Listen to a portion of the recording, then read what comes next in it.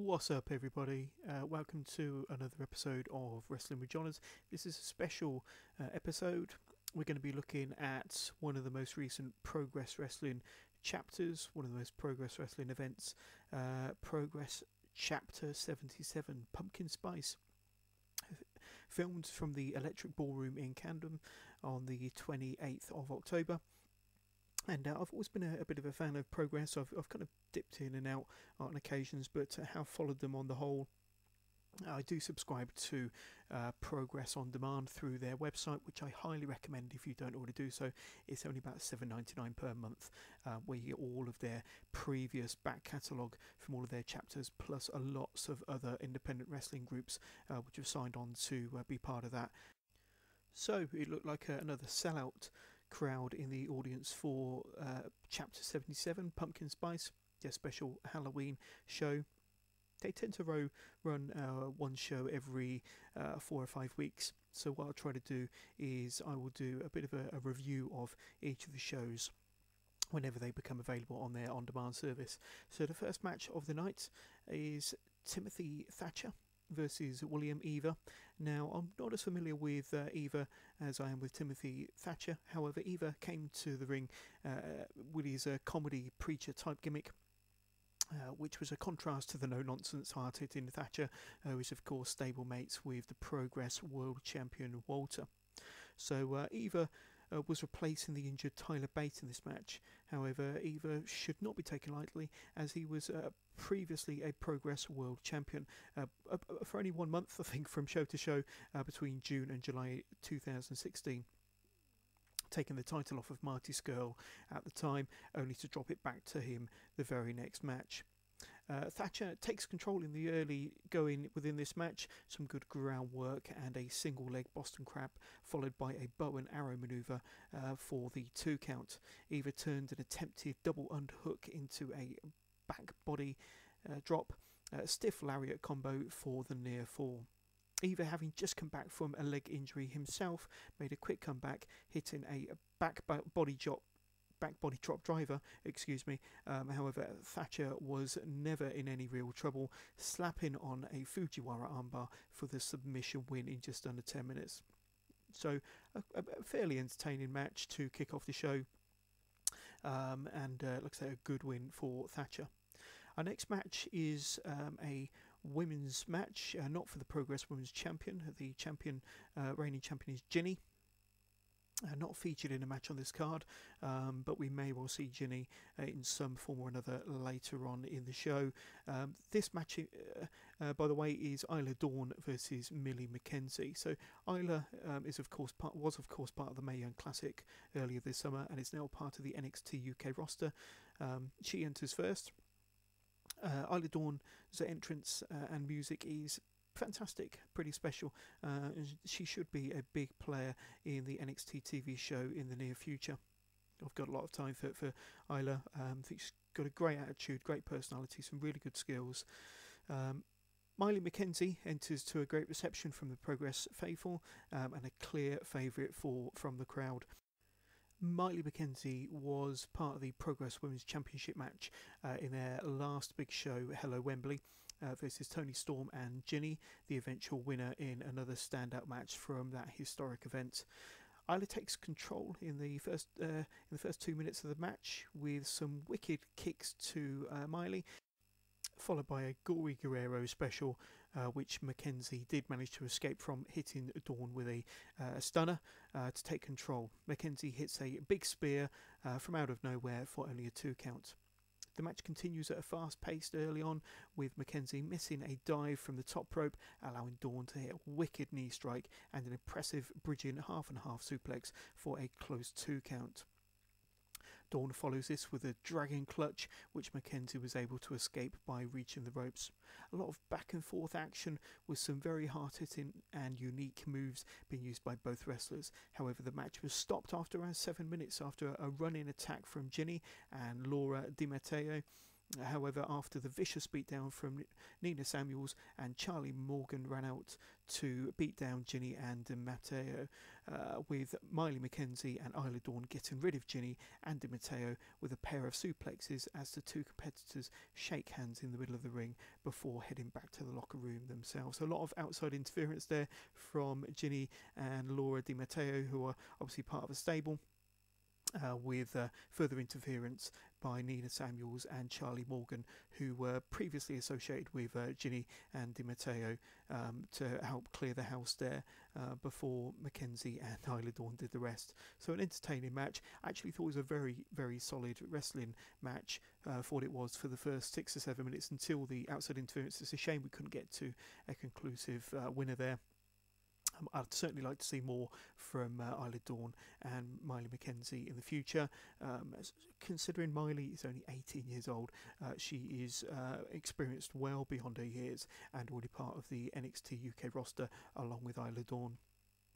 Next up, we got Trent Seven uh, in an Atlas Division Championship match, and it's an open challenge. So, the open challenge for the Atlas Division Championship was a gimmick uh, once played out by Rampage Brown. So, when he was the Atlas Division champion, he would do open challenges.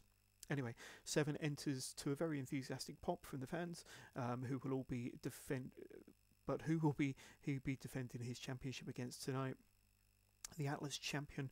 Uh, is for wrestlers over the 205 pound mark, so no, no cruiserweights allowed. Gino Gambino makes his entrance, and he's definitely no cruiserweight. Gambino, in fact, is the MCW heavyweight champion. Uh, that's the Melbourne Championship uh, Wrestling heavyweight champion, weighing in at over 300 pounds, and uh, is by all accounts a 13 year veteran.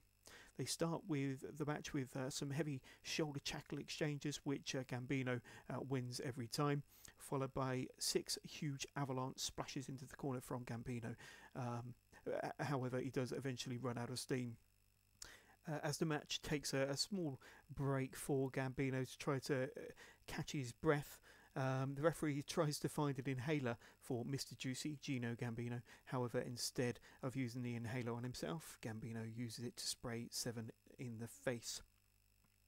Lots of comedy spots in this match, and the crowd are enjoying every moment, with Trent Seven the firm favourite, as you would imagine. Trent Seven has to be one of the most prolific tag team wrestlers in recent histories, uh, being a former three time Progress Tag Team Champion with British Strong Style and a mixture of Tyler Bate and Pete Dunne being his tag team partner uh, with them uh, Tag Team Championship runs, and of course a former NXT Tag Team Champion with Tyler Bates. But now he's trying to prove himself as a singles competitor, uh, with this being his first defence of the Atlas title, which he won by defeating and retiring Doug Williams at the Hello Wembley show in September. This was a, very impressive. There was a very impressive top rope suplex from Trent Seven onto Gambino, which must have shifted the ring a good five inches. Uh, Gambino spiked Seven with a, a vicious-looking pile driver. However, Seven finished the match, uh, catching Gambino on the top rope, only to put him into Trent's burning hammer finisher for the one, two, three, and successful de- title defence. The first half of the match was all comedy and entertainment, however, the second half uh, was definitely hard hitting and vicious. Uh, well done to Trent Seven and a nice progress introduction to Gino Gambino. I'm sure we'll see a bit more from him in the future.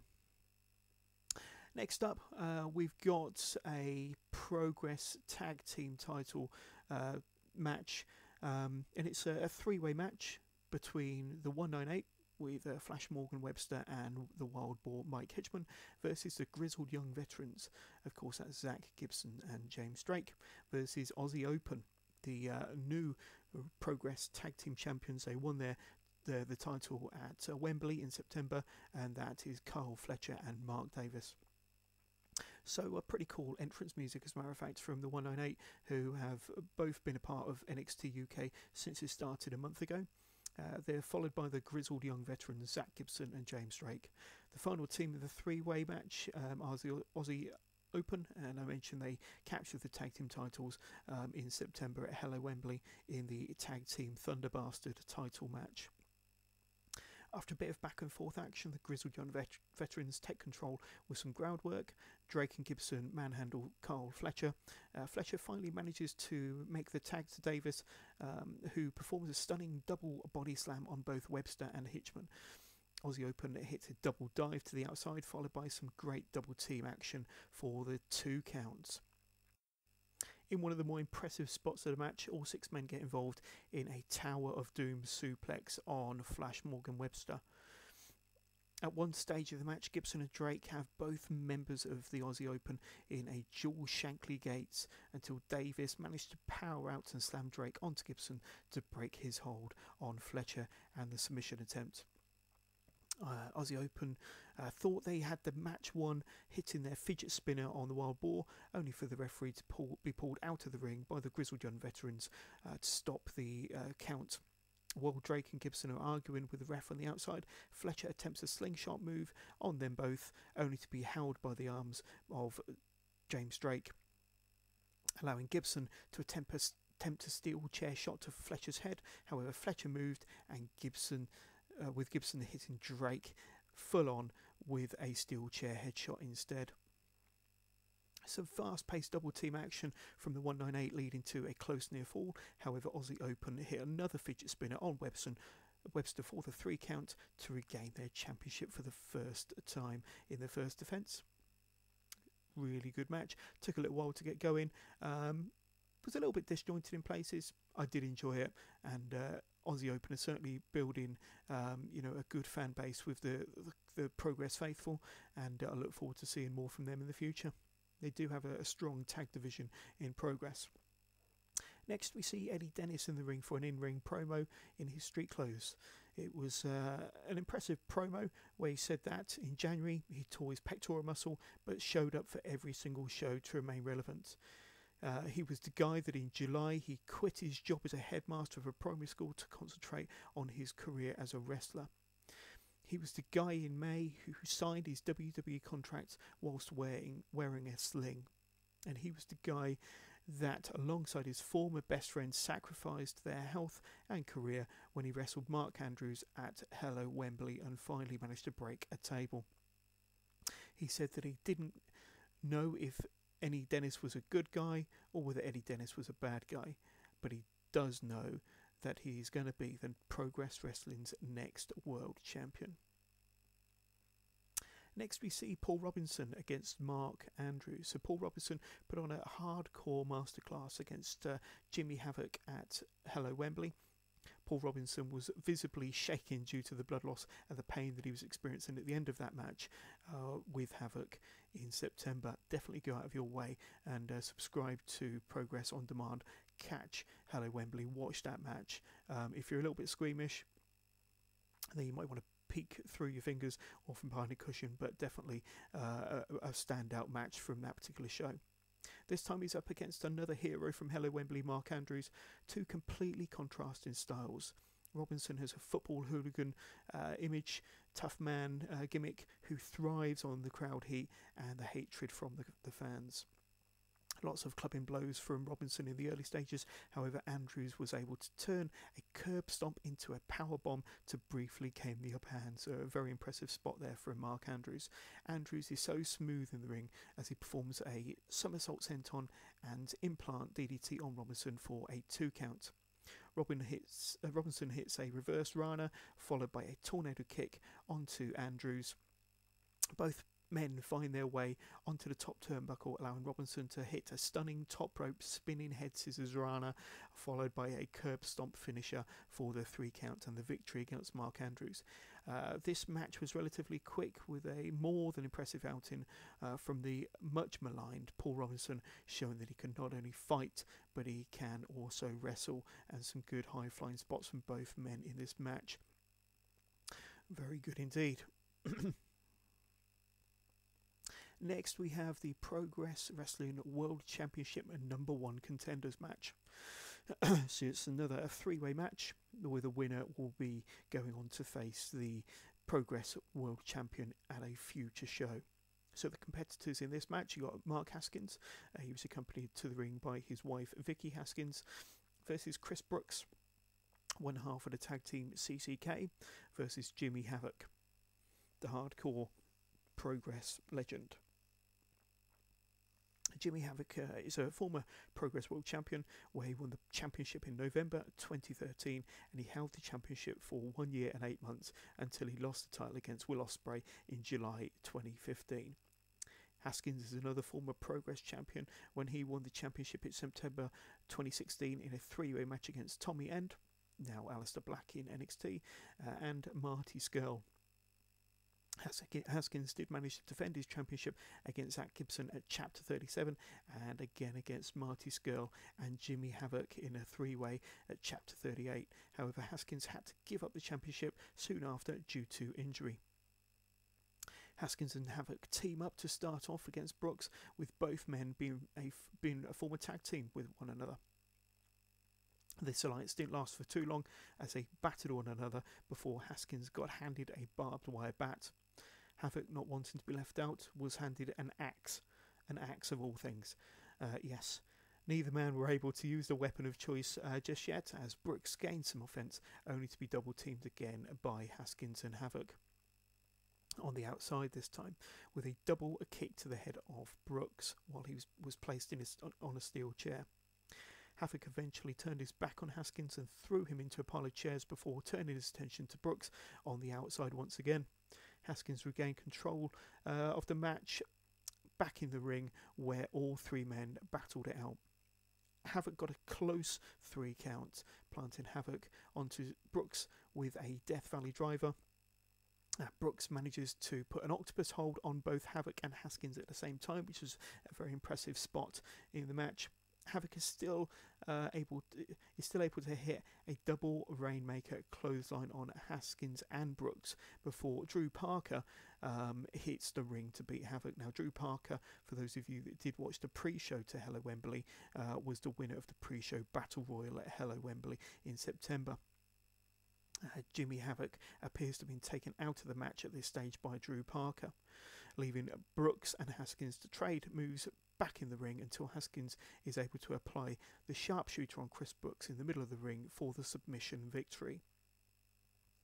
Um, a little bit of a disjointed match, in my opinion. I think uh, multi-man matches, three or four-person matches, are not always the cleanest or tidiest of matches. Um, this one, you know, did work at times. Um, I think it worked better when Haskins was taken out the match, and it was just a, a final few minutes with Haskins and Brook. Um, However, Haskins was the right man to win the match uh, and goes on to a future championship match against the winner of the main event. After the match, he does a, an in ring promo saying that how uh, two years ago he was the Progress champion before being told that he had uh, had the neck of an 80 year old and how he should hang up the boots and retire. Haskins said how he got a second, a third, and a fourth opinion from other doctors, and they all said that he was good to go. He said that he does it for his family and he does it for the fans, and that he doesn't care who walks out of tonight's main event as a champion because Haskins is coming for the winner. So, on to the main event. The ring general, Walter, the champion, uh, comes to the ring uh, first. Um, his opponent is Zack Sabre Jr. Remember, this is for the Progress Wrestling World Championship. Walter is an impressive figure, standing six foot four, weighing over 300 pounds. Zack Sabre Jr. is introduced as a 2018 Super Strong Style winner and the best technical wrestler in the world. The crowd are really hot with uh, dueling chants for both Sabre Jr. and Walter um, as the match commences. Walter takes early control of the match with a side headlock. Uh, Walter has control of the match with his immense power, uh, keeping Sabre Jr. grounded until Sabre is able to escape to the outside to regain his thoughts. Sabre Jr. is able to reverse a Japanese stranglehold before tying Walter up on the ground, going to work with some joint manipulation on Walter's right arm. Sabre Jr. gets caught up, uh, caught by a wicked right hand slap, followed by a huge sleeper hold from Walter. Uh, Sabre and Walter are being are beating the hell out of one another at this stage, uh, with Walter putting some punishment on Sabre Jr.'s neck. Walter drapes Sabre Jr. across the top turnbuckle before slapping his chest once again, causing him to fall out uh, over the top um, and onto the hardwood floor on the outside. Sabre is able to take advantage finally with a series of stiff kicks to Walter, followed by a massive penalty kick uh, to Walter's chest. Zack Sabre Jr. appears to be gaining energy while Walter appears to be getting slower until Walter catches Sabre with an almighty chest slap. Um, a series of stiff blows and slaps between the two were exchanged uh, and are sometimes hard to watch. Walter puts Sabre Jr. into a Boston Crab before transitioning into an STF. Sabre tries to counter with repeated blows to Walter's left arm. Some strong throws by Walter leads uh, to a two count. Uh, both guys are breathing heavy at this stage, with Walter's forearms and wrists feeling the punishment from Sabre Jr.'s repeated kicks and punches. Sabre reverses a powerbomb attempt into a guillotine. However, Walter is able to turn the move into a legit tombstone pile driver, causing serious harm to Sabre Jr.'s already injured neck. Three of the most awesome chest slaps are followed by two knee lifts to Sabre Jr. But somehow, Zack Sabre Jr. is able to overcome those awesome, awesome chest slaps and knee strikes to apply a double arm lock in the centre of the ring. Uh, Walter is just able to reach the ropes for the escape. Uh, this match um, is as harder hitting as any match you are likely to see. Uh, Sabre Jr. survives a massive powerbomb pinning attempt from Walter. Uh, the two, uh, the finish comes when Walter hits a huge clothesline and a Hay of Thunder finisher for the three count and the win to regain his Progress World Championship. As mentioned, this was a hard hitting and sometimes hard to watch match uh, that you have to go out of your way to see. Uh, there was no playing around from either of these two, and I will remember this match between Zack Sabre Jr. and Walter for many, many years to come for its hard hitting and strong style action. This was another excellent wrestling show from one of the premier independent wrestling companies on the planet. Um, some of the standout moments for me, I really enjoyed the match between uh, Miley McKenzie and Isla Dawn some excellent wrestling action. Uh, they absolutely took it to the max with some of the moves and some of the action and the storytelling. Uh, some moves that I hadn't seen uh, used for a long time, um, including the uh, Gory Guerrero special. Very, very good. Shame it was outside interference uh, to end the match. But I'm sure they'll uh, have another encounter, possibly involving uh, Jinny and the others that interfered at the end of the match. I quite enjoyed the Trent Seven versus uh, Gino Gambino match. Uh, a bit of a comedy fest for the first half, uh, but then it settled into a very hard hitting, uh, excellent um, wrestling match to finish off. The true highlight for me, though, was the main event. Um, Zack Sabre Jr. versus the Progress World Champion, uh, the Ring General Walter. Uh, the match lasted about 20 minutes. It was non-stop, hard-hitting action. Um, to watch it sometimes. The slaps, the blows, um, some of the joint manipulation from Zack Sabre Jr. Um, it, it, it was end to end action. Um, and uh, yes, yeah, some really, really good, um, hard hitting stuff in the middle of that ring between those two, two completely contrasting styles. Um, and Zack Sabre Jr. Um, did manage to rattle Walter on quite a few occasions. Both men were breathing heavy towards the end, uh, but they managed to find uh, extra energy um, to finish the match off with as much pace as it started. Um, I'd definitely give this match a good, uh, let's see, four, four and a quarter stars out of five if I were to rate it. Um, and uh, say an excellent, excellent match that I will definitely go out, my, go out my way to watch again in the very near future, and I highly recommend that you do too. Um, as I said earlier, I, I, recommend that you sign up to uh, the Progress on Demand. Uh, through the website, it's only seven ninety nine per month to watch one of the main reasons why British independent wrestling is as respected as it is at the moment worldwide. Uh, I'll aim to review future Progress Wrestling shows as they happen, so keep listening to Wrestling for Johners for your Progress Wrestling updates. Um, if you have any questions about the show, about this show in particular, or any questions you'd like to ask, any feedback or any suggestions for things that you'd like me to review in the future, uh, just email me at wrestlingwithjohners at gmail.com. You can also get in touch via our Twitter page, which is at withjohners underscore WWJ.